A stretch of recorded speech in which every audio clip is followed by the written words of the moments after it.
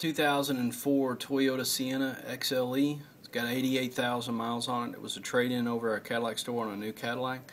It's a clean Carfax. Does have three owners on it. Uh, 12 service records. I did not check the car in the service department, so I don't have any service records.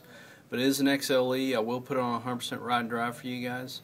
Uh, so uh, be on top and be prepared to sell, to buy it because we do plan on selling it. So uh, take a look. It is a nice rig. Good luck.